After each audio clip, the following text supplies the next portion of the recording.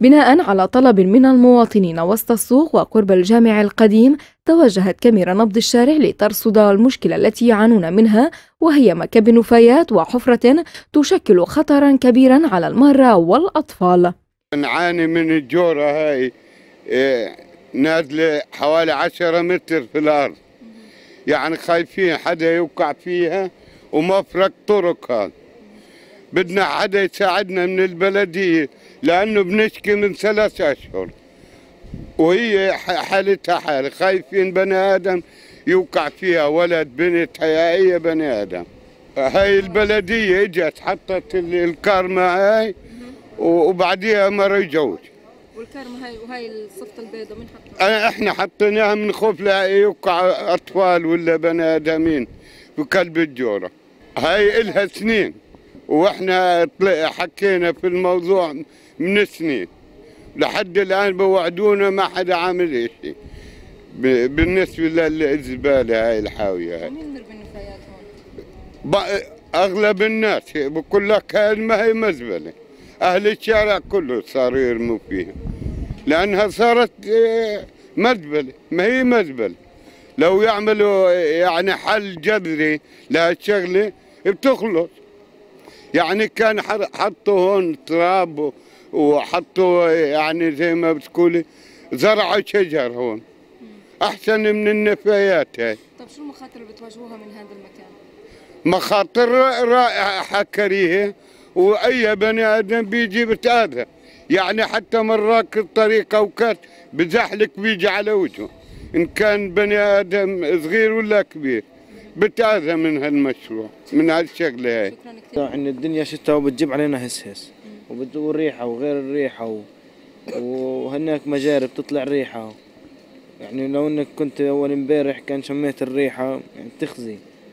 ورحنا على البلدية. إحنا لو بحكي لنا عمي هاي منكم الوسخ وأنتوا عنوها أبوي يعني صاحب المحل إحنا هنا أبوي جاب ناس تنظفها. وحسابنا يعني. فلما راحوا خشوا نظفوها قلنا عمي شلون ننظف فيها؟ كلها عرس وحيايا وجرادين فراح ردينا رجعنا البلدية. البلدية اضطروا أبوي.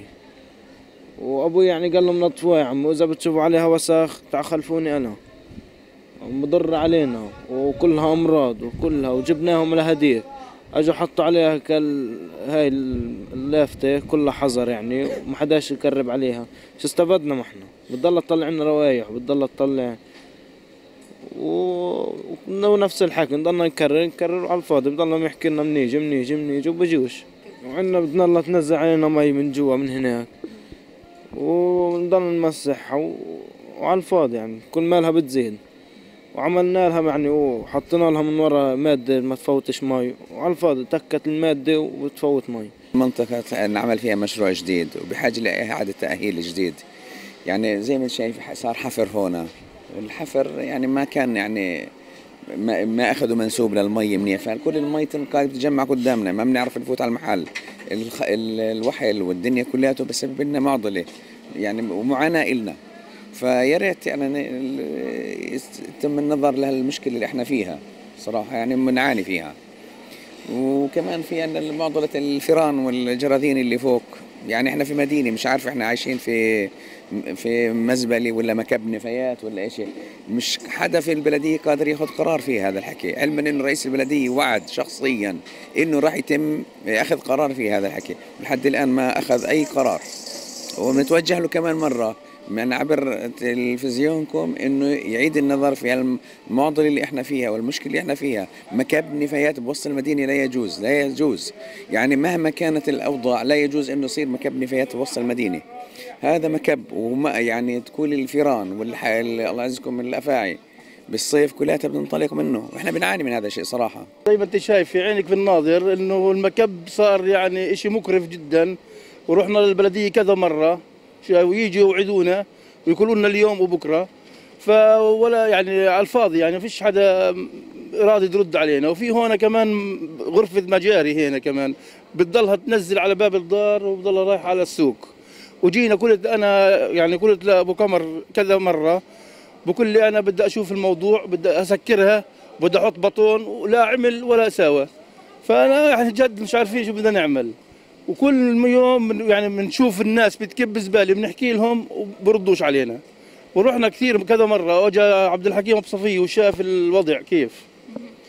وما ما عملوا لناش شيء. كل الحارة اللي فوق كل الحارة اللي فوق بتيجي بتكب زباله وهي في هون غرفة تفتيش كذا مرة يعني تفيض علينا. فاضت علينا وعند المخزن جوا يعني عندي مخزن جوا كلياته امتلأ مي وامتلأ أوساخ يعني. ف يعني بنترجى إنه يعني أنتم تشوفوا لنا حل لهالموضوع كمان. وبعد مرور وقت قصير توجهت طواقم البلدية للمكان وأغلقت هذه الحفرة ليكون بذلك أهالي المنطقة شاكرين لها.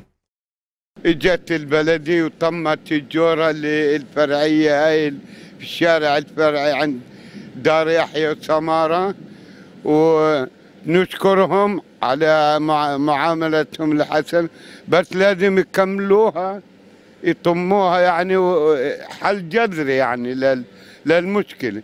لأنه المخازن هاي احتمال تسقط تنزل لتحت. لأنه عمق اللي هون حوالي سبعة ثمانية متر. ال- الأرضية اللي تحت البطون سبعة ثمانية متر. على كل شكرا لهم. لازم يصبوها منيح وزبطوها